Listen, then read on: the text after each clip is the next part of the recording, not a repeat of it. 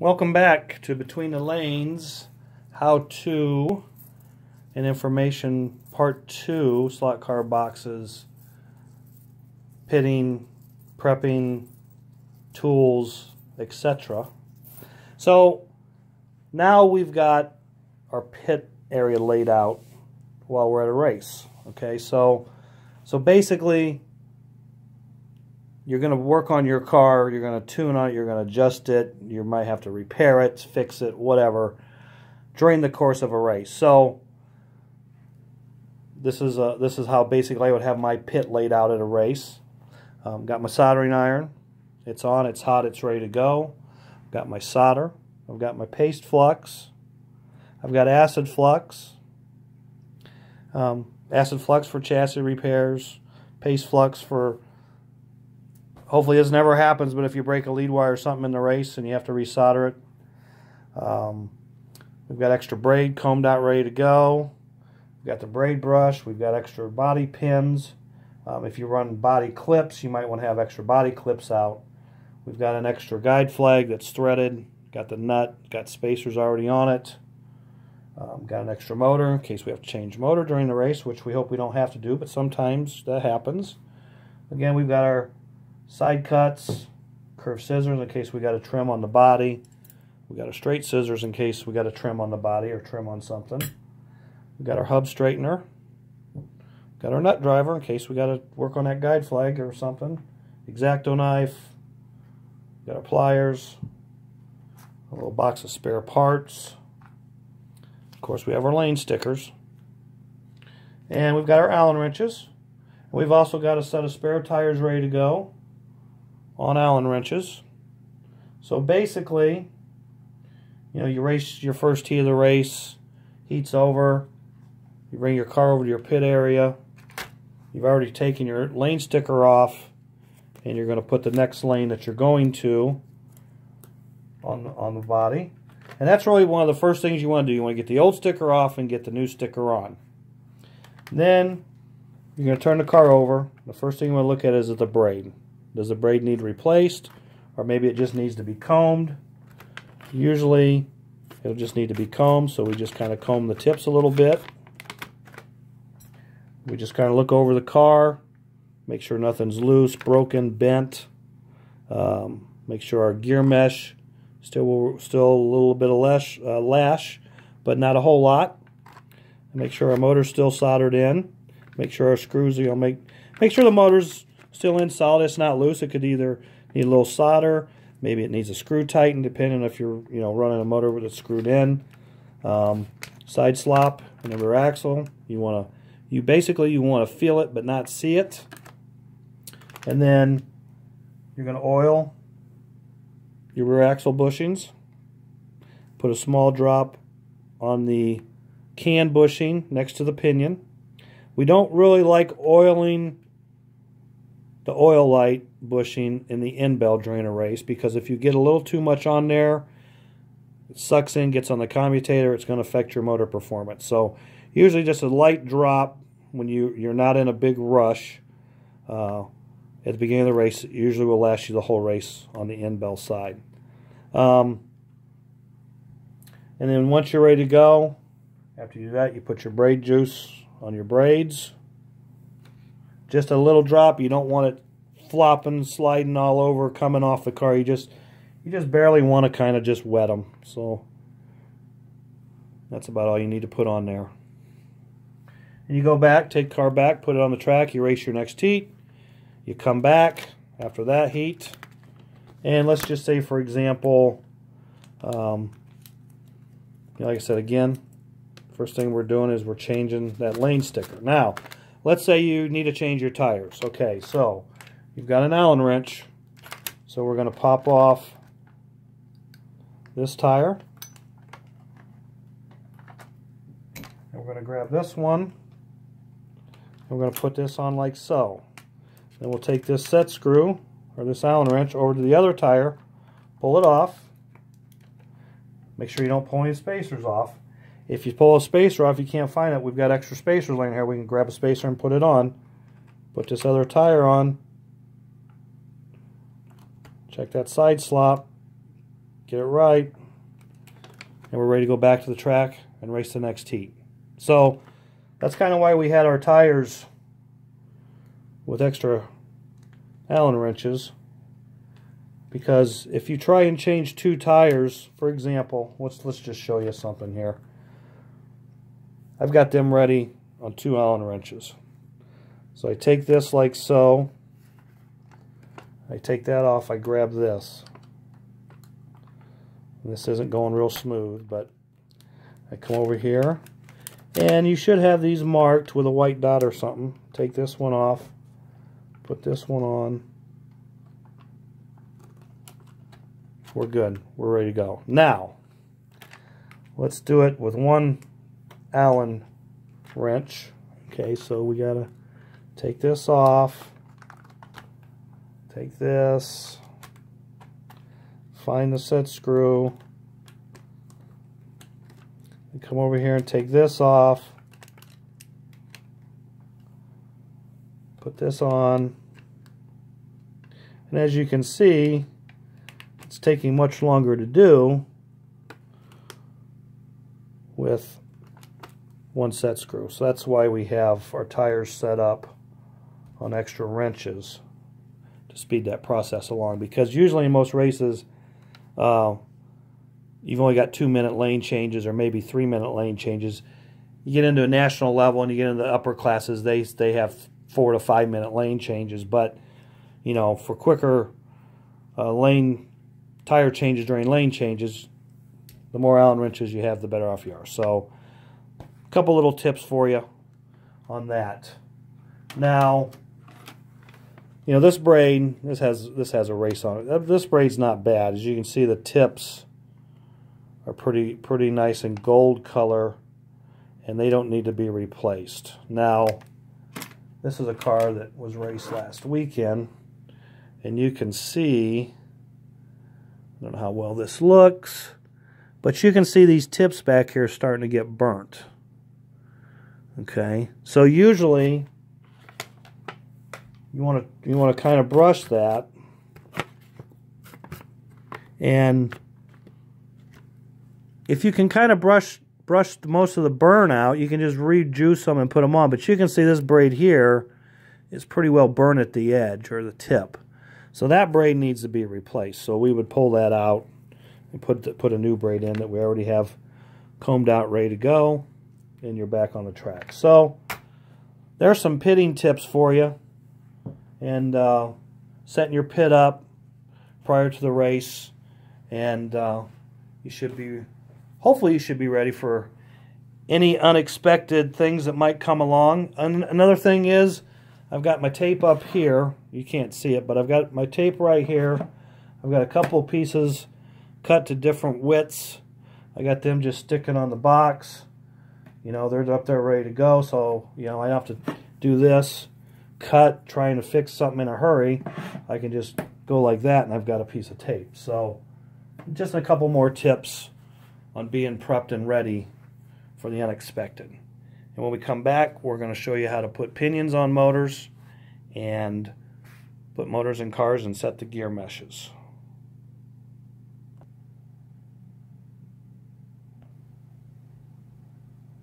Alright, now we're going to solder pinions on motors.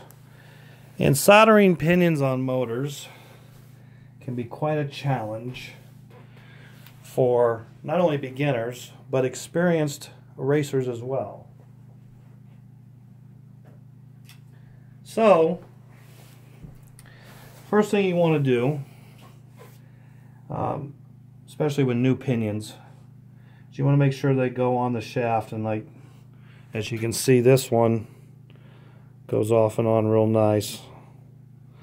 So we always check our pinions and that one went on real nice and tight or nice and loose too okay if you get one that's that, that wants to go on there kind of tight or, or it's almost like you got to pound it on or press it on, then you that's what you need your mini reamers for. And you would take a reamer and you would just lightly, well that's too small, but get the bigger one out. And you just go on there and just give it a few twists and check it. You don't want it to wobble on the shaft. You want it to to have to have kind of a slip fit. Um, if it'd be too wobbly, you're going to have major gear mesh problems down the road. And, and usually the pinions you buy are usually pretty pretty much uh, good out of the bag. And we'll go on the shafts. Uh, like I said, they'll just kind of slide on the shaft like that, and that's what you want them to do. So, first thing you got to do is you got to tin the shaft with solder. And you want your iron at full temperature. And we are at full temp. So, um, basically, well, the first thing you want to do before you even put flux on that shaft is you want to oil that bushing up real good.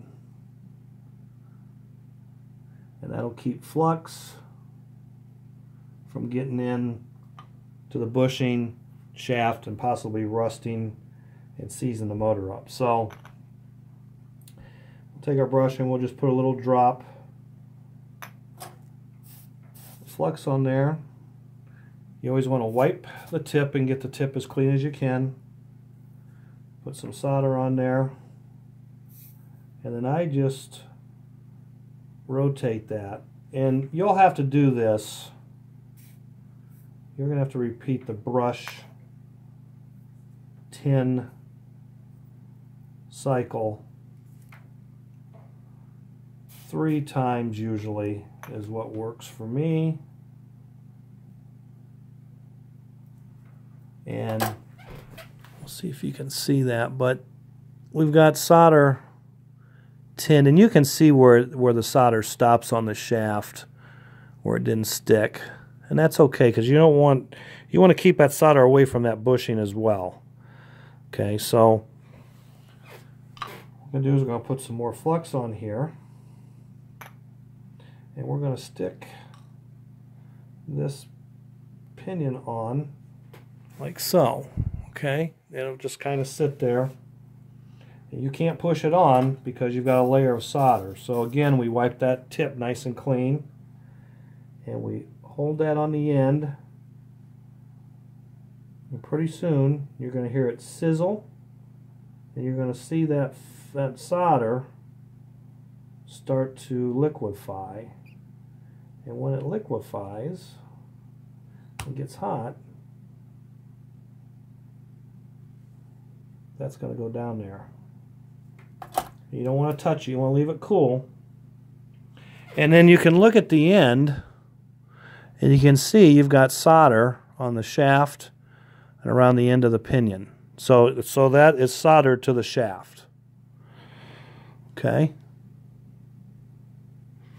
And then usually it's a good thing now, and I'm not set up to do it, but normally I'd have my power supply hooked up and I would run this uh, motor and then stop it after a few seconds and re-oil it.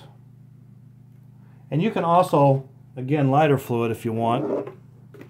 You could squirt lighter fluid down there, flush it out, run it on a power supply real quick, stop, oil it, run it back in. Just make sure you get oil in there, and keep that flux out of there. So, to take our second motor. And again, we're going to, well, I forgot. I got to oil it up first. And then we're going to wet that with solder, clean the tip of the iron, solder it up.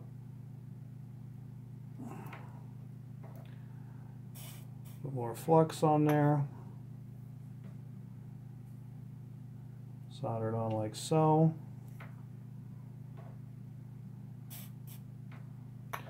Like I said, usually third time is the charm.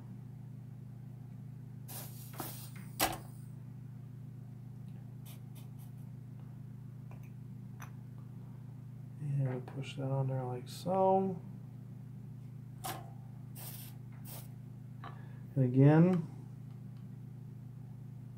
just hold that on there. And you don't, know, I'm not pushing on, I'm just holding it up there and a little bit of pressure on there to keep it Basically, I'm using that pinion as a heat sink, and it's heating that solder up on that shaft.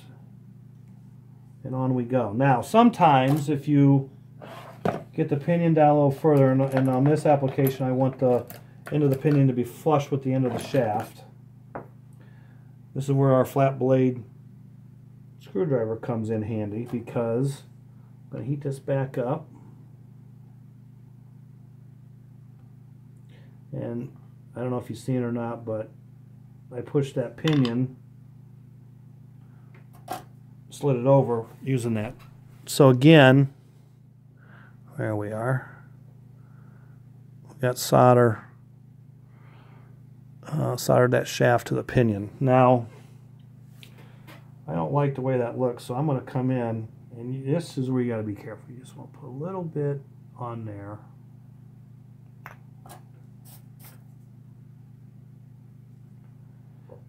Just a slight bit on there.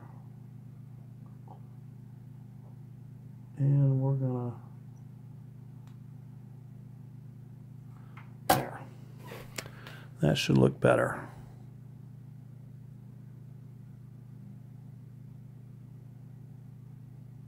Okay, so again, oil that back up. And I am going to be right back. Don't go anywhere. Alright, so I'm back and I've went and got the power supply hooked up. So hook the leads up and just going to run that and that oil will run in and basically get rid of any acid flux that's flux that's in there now because these are new motors and we haven't pre-tinned the bus bars the soldered lead wires to on, on most of my motors, I will take the leading, the front bus bar, if you will, in the front of the motor. I'll take my needle nose pliers and I'll get a hold of it like so. And I'll give that a little curly Q twist. And that does is it gives a nice place for the lead wire to lay on and solder to. Personal preference deal, not necessary, but I thought I'd show that to you. So, we got to prep the motor before we solder it in the chassis. So, you want to just take a light little bit of flux. You don't want to get much because when solder hits this, that's, that flux is going to going to kind of splatter just a little bit and you don't want that to get in, in the commutator of the motor because again that's going to affect motor performance if you get too much in there.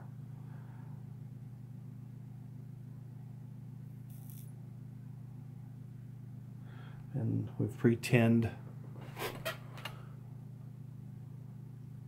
our bus bars where you can see how they're nice and shiny. They haven't been soldered yet. So I'm going to do this.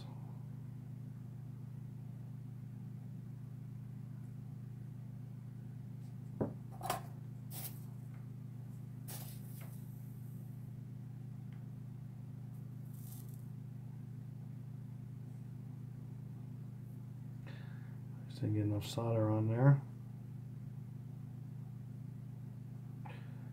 And come over here and do the second one.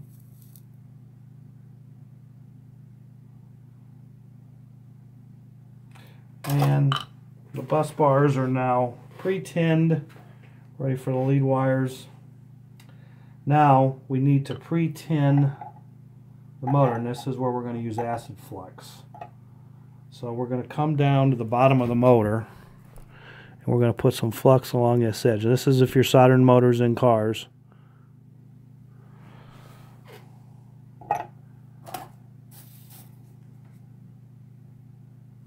In some chassis you have to solder the motors in. You cannot screw them in so.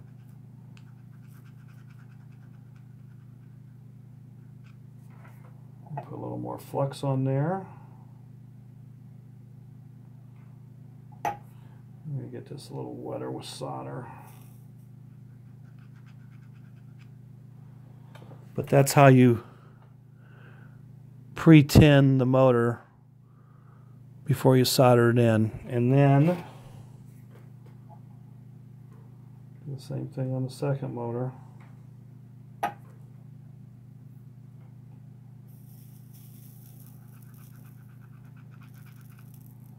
And we've got that pre-tinned. So, before we put them in the car, I'm going to show you how to prep braid. Um, basically, you take braid out of the bag and they look like this. Uh, they're, you know, they're always bent at an angle. The edges of the tips can be kind of messed up.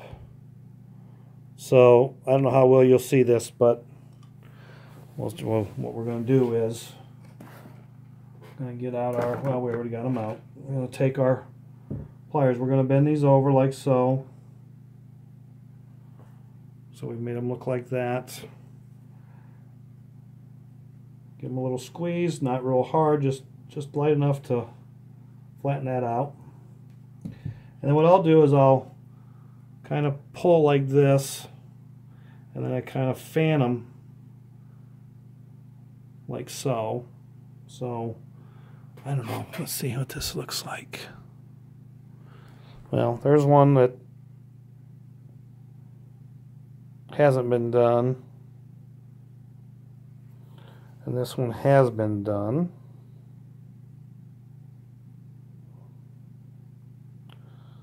Not focusing in. There we go, a little better. So, pull, pull and then kind of fan. Okay, once we got that done, we take our braid brush and I always go one, two, three, one, two, three, and make my braid look like that on the tips.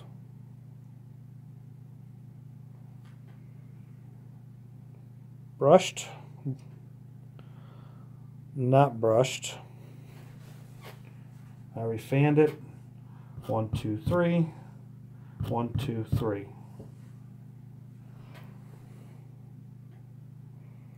And that's how we prep. That's how I prep braid for racing, and that's how I recommend everybody else do it. But I'm sure some people may have a different type braid brush or a different way of doing it, but that's always worked for me. Then we're going to go ahead and just stick these in this car because the other car already has braid in it that I've already done. So another thing to look for is when you push the braid in, and this is pretty good because this is what I kind of wanted to show. That braid you can see the, the bottom of the clip is flush with the edge of the guide where this one sticks up a little bit. Now I've tried pushing it in and I can't get it so I'm going to take and I'm going to tap this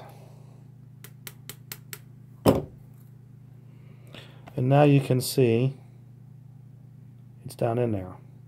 If that sticks out and you bend this over and you get in a crash, that can actually cut that braid, shear that braid off where that brass is sticking out the back side of the guide flag.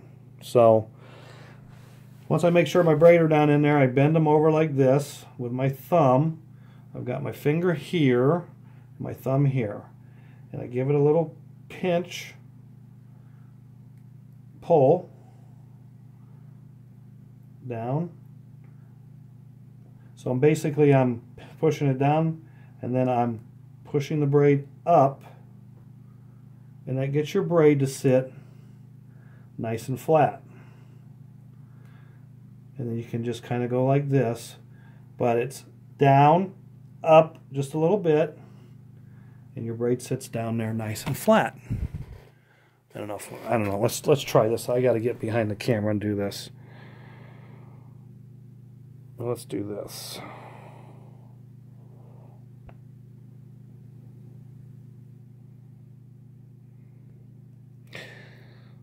Okay, thumb. And then up. I'm going up. I'm going like this. And that makes your braid sit nice and flat. Because you want the braid to be down a little bit in the back. But you want it up tight in the front. All right, now we are going to install the motor and we are going to try and get you a little closer. Okay, and my hand's going to block some of this, but okay, we got to get the lead wire kind of over out of the way. Get all these other tools out of my way. Now, I've already pre-tinned my chassis, and, and if you watch the Between the Lanes how-to video on setting a chassis up, I showed how we pre-tin that area and how we put the rear brace in and everything with the smaller diameter gear that you're going to run.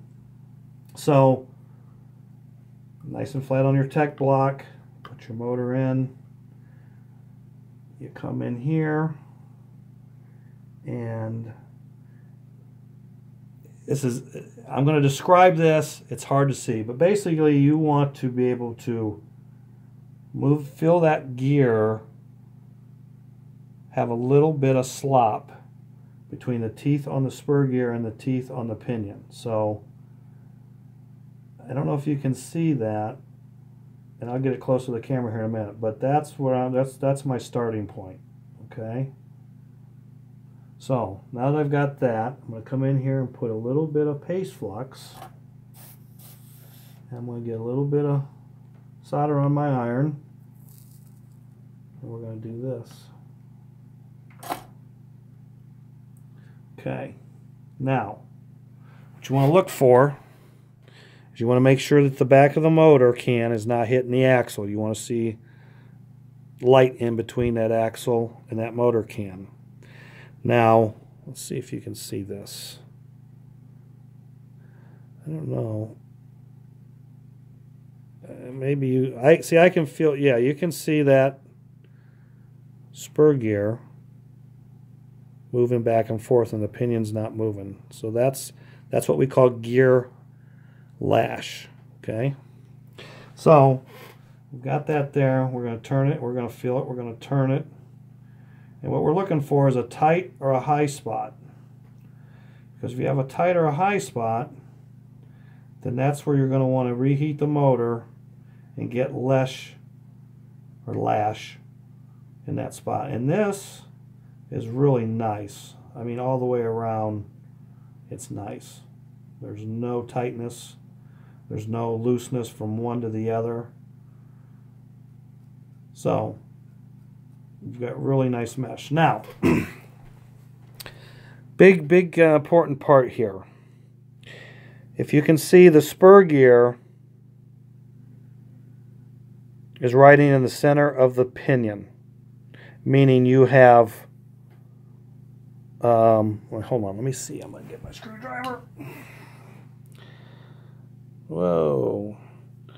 You've got pinion sticking out past the spur on this side and teeth sticking past over here. That's where you want to be. And sometimes you want to push, because motors will have play in them, you want to push that that way and make sure you got full engagement and push it back that way and make sure you got full engagement, which we do. Okay, so we've got perfect placement in the center. And that's what we want. Okay, so we've got that. Now we're going to solder the motor to the back motor brace, and we're going to put a put a drop, a little bit of acid flux there, and we're going to fill in that gap. I should have showed you the gap. I'll do it in the next one. But we filled that gap in with solder.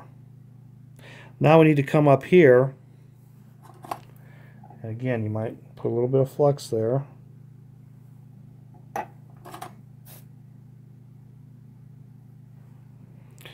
And we're going to fill this in with solder. And we let it cool. We don't blow on it. We let it cool. We never blow on a wet solder joint. That can cause cracking. And cracking will cause lead to breakage in the race. Now, we check it after we soldered it in everywhere and make sure there's no tight spots. Okay, so now I feel a little bit of it. No, I mean, we're good. Now, if you have a tight spot after you've done that, what you can do is take a piece of lane sticker backing paper and I fold it in two and if you've got a tight spot you find the tight spot and you back off a couple of teeth you put this in like so and you roll this in like so. Okay now we're going to come back and we're going to reheat these two spots. We're going to heat this let it cool. Then we're going to heat this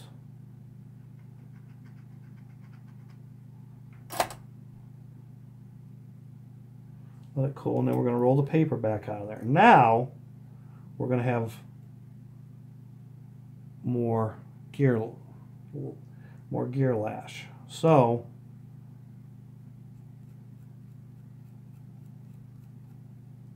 I loosen it up. I'm, a, I'm, a, I'm not going to do this now, but I'm going to take this motor back out and reset this layer because now I've got it too loose because I had it perfect and I didn't need to do that. But I just wanted to show you what to do if you got a high spot. So we're a little on the loose side now, but we're going to come back. I'm going to come back off camera and do that. So we're going to do the same thing with the second motor. It's pre-tinned. And we're going to check.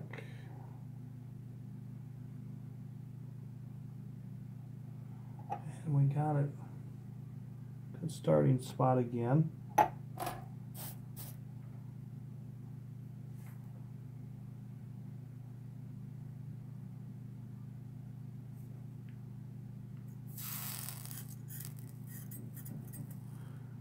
Tack that in.